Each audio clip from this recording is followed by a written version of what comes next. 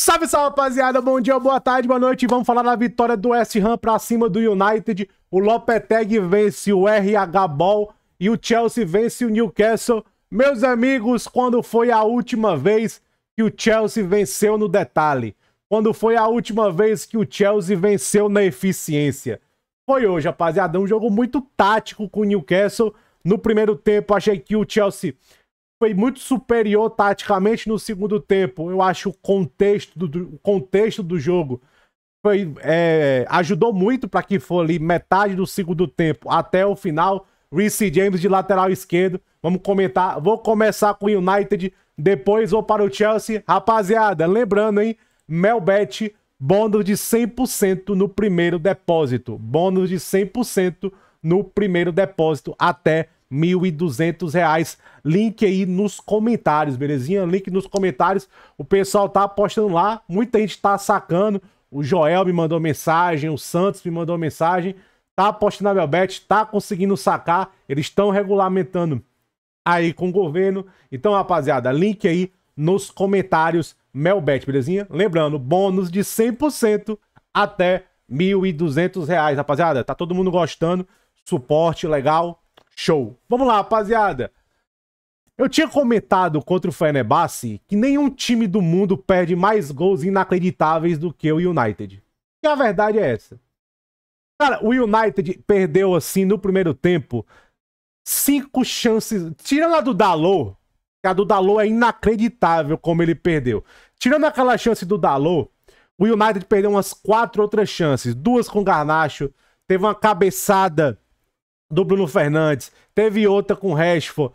Cara, inacreditável como o United morreu de perder gols no primeiro tempo. O time joga bem, o time joga com atitude, o meio-campo bem, trocando passe. No meio ali, o West Ham dá uma igualada, o United consegue se manter no jogo. O time cria chances.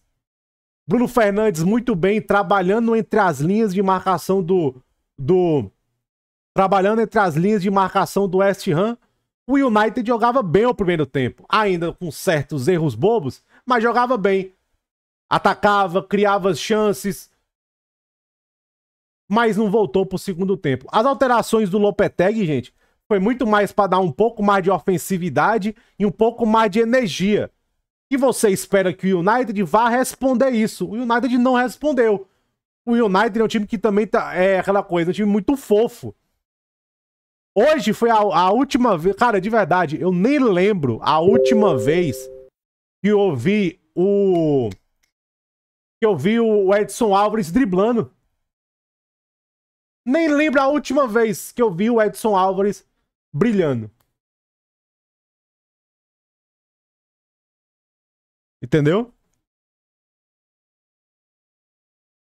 Ou oh, brilhando não, driblando. Que ele jogou muito bem hoje, o Edson Álvares. Driblando. Eu nem lembro a última vez. Hoje contra o United ele dribla. Então, velho, rapaziada, não adianta mais falar taticamente falando do United, porque acabou hoje, é fim de ciclo. Não acho que vão segurar para a Copa da Liga. Eu acho muito improvável. De verdade, todo o clima, como foi o jogo, apesar do primeiro tempo, cara, não dá. E tipo assim, gente, ó, muito daquele gol do Dalot é que eu falo, é de um time nervoso, pilhado, é um time que não tá confortável nem de campo. Por isso que eu falo já desde contra o Brentford, eu já eu até lancei na, na análise pós-jogo de um time quebrado. É um time quebrado. É um time quebrado. Bem, né, quando ganhou do Brentford, eu falei, é um time quebrado. É um time quebrado de confiança. É um time que não tá confortável dentro de campo. É, é o clima, eu tomo nervoso. Você vê o gol que o Dalot perdeu hoje, gente, não existe o gol que ele perdeu. Não existe. O que é que o Lopetegui fez no segundo tempo? Ele manda o time pra cima. O United não responde. Ele literalmente ele abre o campo com o Ambissaca e com o Samerville. Ele tenta abrir mais espaço no meio-campo pro Bowen. É basicamente isso que ele fez. Ele abre o campo com a Bissaka e o Sameville. Aí ele bota um pouco mais de carga com o Solcheck e começa a trabalhar muito ali pro Bowen, pro Bowen brilhar. Tanto que o Ambissaca tava muito aberto. O Bo... Tanto que o lance do primeiro gol é como? O o Ambissaca tá aberto, o Todibo dá um belo passe, entrou muito bem, dá um belo passe, o Bowen cruza, aí tem o chute do, do Wings, o, o Bowen cruza, tem o chute do Wings, o Sameville passa por trás do Dalot e faz 1 a 0 A jogada foi mérito do Lopetegui. Ele colocou energia no jogo, ele abre o campo com o Bissaka e o Sameville e joga o time pra frente. E vamos pro ataque. O West Ham teve mentalidade, teve atitude, coisa que o United não voltou pro segundo tempo. E foi engolido.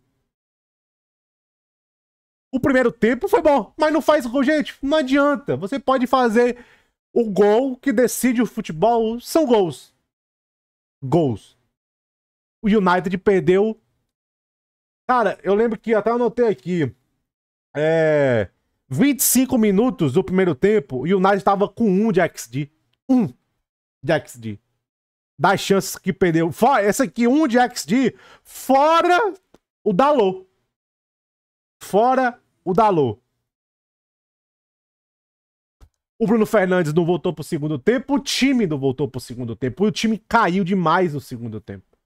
O time joga bem, o time se impõe, o time comanda as ações, cria chances, não converte. E o Ten Hag, gente, ele vai se apegar a isso na coletiva. Vocês acham que ele vai falar o quê? Não podemos perder a chance e tudo mais. É basicamente o que ele vai fazer. Aí mesmo assim o time leva 1 a 0, o time vai lá empata com o Casemiro. Aí um pênalti que eu achei um pênalti muito fofo, velho. Esse tipo de pênalti geralmente não marca na Premier League e o Michael Oliver no VAR chamou.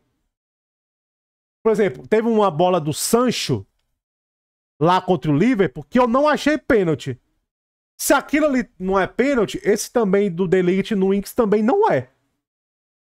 Por exemplo, o juiz do Chelsea e do Chelsea Newcastle, ele foi chamado, ele foi ver o pênalti e não marcou. Porque ele, pá, muito fofo, uma falta, eu acho, do Bunny no Enkunku, que não foi pênalti. O VAR chama, ele não marcou. Esse aí, às vezes, falta muito personalidade pro juiz. E ele olhou, ele olhou. Eu tenho certeza que ele marcou esse pênalti porque o cara chamou.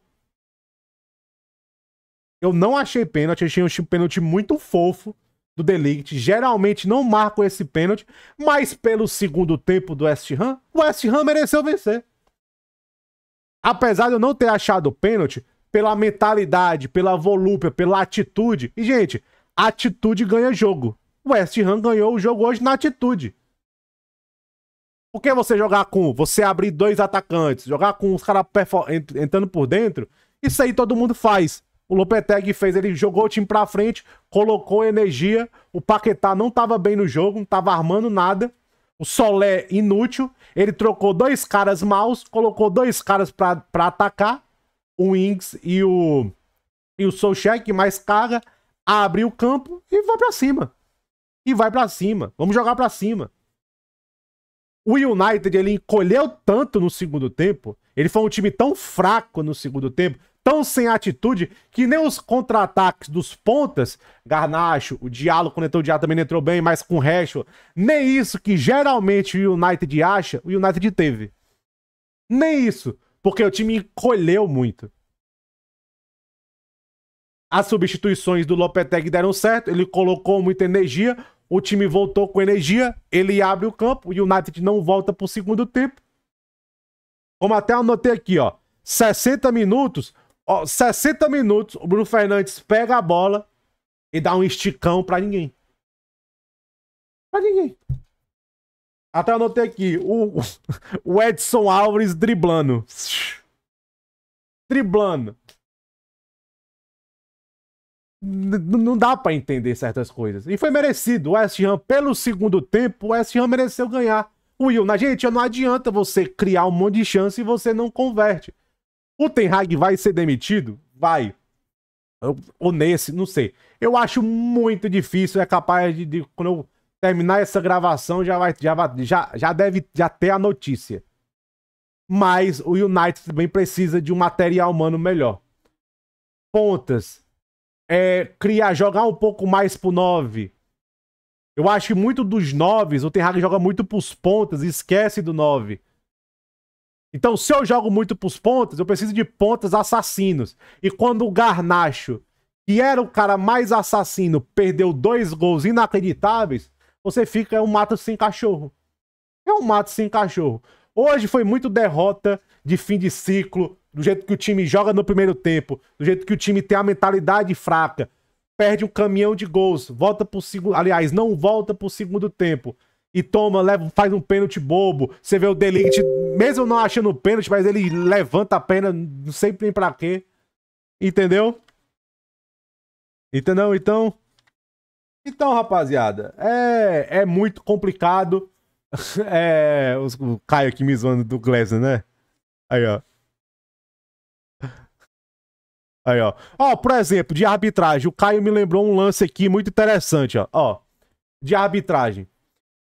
Essa foi uma falta que o Van de Ven recebeu amarelo. Olha a arbitragem da Premier League, ó. Essa foi uma falta que o Van de Ven recebeu amarelo. Eles não expulsaram. Contra o Arsenal, o Saliba, que estava muito mais atrás, eles expulsaram. É isso que é foda. Aqui é pra expulsão.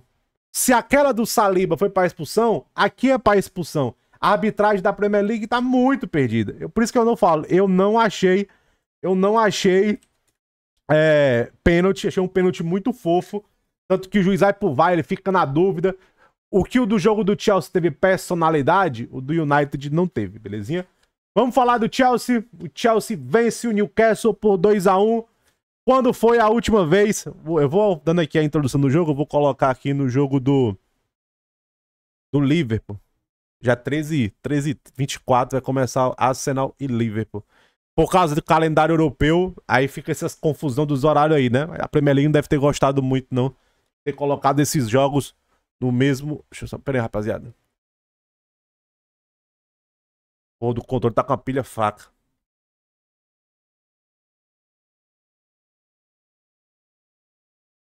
Ah, pronto. O Liverpool perdeu a liderança para o City, entendeu? Vamos lá, rapaziada. É. Vamos lá, peraí. É.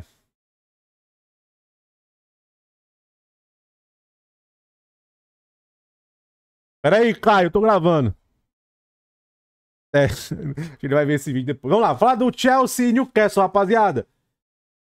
Bom jogo, cara, por incrível que pareça, eu achei um bom jogo do Chelsea. Eu espero que a torcida do Chelsea não me mate. Eu achei um bom jogo do Chelsea. Sabe por quê, gente? Porque eu achei que o Newcastle não jogou tão mal coletivamente. O Newcastle jogou mal individualmente. O Newcastle, apesar que o Newcastle não criou tanto, eu acho que o Newcastle teve uma atitude diferente do que vinha tendo. O Chelsea soube se defender e as grandes chances, cara. O primeiro gol, gente, o pessoal vai falar que foi falha de X ou de Y. Eu achei muito mérito do livramento no gol do Newcastle, muito mérito. E no segundo tempo, a grande chance do Newcastle foi um vacilo ali do Fofana, que ele foi tentar dar um peixinho, aí entregou pro Isaac. Mas tirando aquilo ali, velho. Entendeu? Eu nem achei que o Newcastle fez um grande jogo, não. Esse XG aqui do primeiro tempo, cara, eu nem sei da onde veio isso aqui, isso tudo. Esse XG aqui, eu nem sei da onde veio isso tudo aqui. Mas no segundo tempo, o Newcastle, você vê a grande chance do Newcastle do segundo tempo foi aquela vacilada do Fofana. Vamos lá, gente. O Maresca vem com o Reece James na esquerda, Pedro Neto na, na ponta esquerda. Vamos lá. Eu não achei que o Sancho jogou, apesar que o Pedro Neto jogou muito bem. Gente, o Pedro Neto, saudável. Uma finalização melhor talvez seja pedir muito aos deuses do futebol, porque se você, para você combinar a velocidade que ele joga com a grande finalização, talvez seja pedir demais. Mas o Pedro Neto, saudável e com uma boa finalização, ele é ponta de 80 milhões de euros. Jogou muito bem. Aí o que acontece? As mudanças do Maresca. O Palme hoje jogou, ó, pela esquerda. Não foi pela direita. Quem foi pela direita foi o Malogusto, ó. O Malogusto, ó, o mapa de calor. Foi o meia pela direita. Particularmente, eu não sou muito fã. Eu não acho, eu não acho que se pagou tanto. Por exemplo, o Madue que não fez uma partida tão boa, apesar de. Não sei se não, não contou como não fez uma partida tão boa. Eu achei o, o lado direito do Chelsea um pouco é aquela coisa. O lado que o Palmer ataca mais é o lado que a bola vai caminhar mais, né? Mas, por exemplo, achei que o lado direito do Chelsea também não conseguiu ser uma ameaça. O Malogusto, apesar que defensivamente ele fez um jogo muito bom, ofensivamente, gente, pô, o papel ofensivo aqui do meia pela direita é do Gusto, tá? Não é do Caicedo e do Lávia. Ele prega o Caicedo e o Lávia lado a lado. O Lávia mais pela esquerda e o Caicedo, ó, mais pela direita. Você vê ó, o mapa de calor. Como eles jogam lado a lado. Lado a lado. É basicamente assim que eles jogam. Lado a lado. Entende? Então, velho, eu não. Tipo assim. É. Eu não gostei muito do Gusto como esse meia pela direita. Mas, enfim, o que aconteceu? O jogo no primeiro tempo foi uma guerra de tiroteios. Transição. Transição. O Newcastle, ele veio para marcar os dois homens do Chelsea. O Tonali e o Joeliton. Marcar o Lavia e o Caicedo. Aí eu tava pensando, eu tava vendo o jogo do Chelsea, eu tava pensando que, que foi que os times adversários viram tanto para querer ir em Stamford Bridge marcar o Chelsea tão alto? Porque quando o Chelsea escapa, vi, vi, vi o primeiro gol, e o segundo gol também, o Live dá um belo passe ali, o Palme arrasta, foi um erro, né? Foi um erro do Isaac, eu não sei se eu anotei aqui. Foi, foi o Isaac que fez uma bobagem brincando no meio campo, o Live dá o passe, o... o o Palmer vai, carrega e faz 2 a 1 um. Mas para você ver, no primeiro tempo o gol é de transição. Erra lá, dá combate, o Palmer acerta um belo passe pro Pedro Neto que faz a jogada e o Jackson faz 1 a 0. Mas para você ver, lá, se você ver os dois meio-campistas do, do Newcastle, tudo avançado. Tanto que eu acho que quem tá marcando o cruzamento do Pedro Neto é o Bruno Guimarães, que é o primeiro volante. Que é o primeiro volante é, em tese, em tese ele é o primeiro volante. Aí o, o Newcastle vai marcar alto e o jogo fica a transição, porque o Chelsea também não nega. O Chelsea não nega a transição. O jogo ficou muito aberto para você ver. Achei que o meio-campo ficou um pouco povoado. Aí o Chelsea faz 1 a 0, né? Faz 1 a 0. Eu achava o Newcastle levemente nessa pressão um pouco afobado demais mas o Newcastle tava competindo, o jogo tava legal, tava legal de se assistir. E o Newcastle tentando marcar alto esses dois homens do Chelsea do meio-campo e o jogo tava aberto, tava tiroteio. Aí, uma bela jogada do livramento, aí ele ganha do Lávia, ganha do Caicedo, o Pedro Neto não chega no Joeliton, a bola, a jogada se sucede, o, o Hall cruza, o Isaac finaliza, empata 1 a 0. Outra coisa, aquele gol anulado do Palmer também foi outra transição. Outra transição. Meu amigo, é por isso que eu tô falando. Eu não sei o que é que os times viram. É. Começou ácido e, e. Eu não sei o que os times viram para dar tanta transição pro Chelsea. Os caras adoram dar transição pro Chelsea. Eu não sei o que é que eles viram. Talvez o jogo contra o Bournemouth. Talvez. Talvez seja isso. Mas os caras adoram, a transição pro Chelsea. Vai pro segundo tempo, o Isaac empata. O Chelsea termina bem. O Chelsea tem boas chances ali de fazer o 2 o 2 a 1 Não faz. Volta pro segundo tempo. O Isaac brinca no meio-campo. O Lavia toca. O Palme arrasta. Finaliza e faz 2 a 1 Aí o jogo começa a ficar controlado pro Chelsea. Aí o Newcastle melhora. Mas a grande chance do Newcastle foi quando o, o Fofana tentou dar um peixinho ali, a bola sobrou pro, pro Isaac. Ele não soube muito como continuar a jogada e não teve nada. E teve um, um tiro ali, um, um bloqueio do Reece James no final que, que garantiu. Que garantiu ali.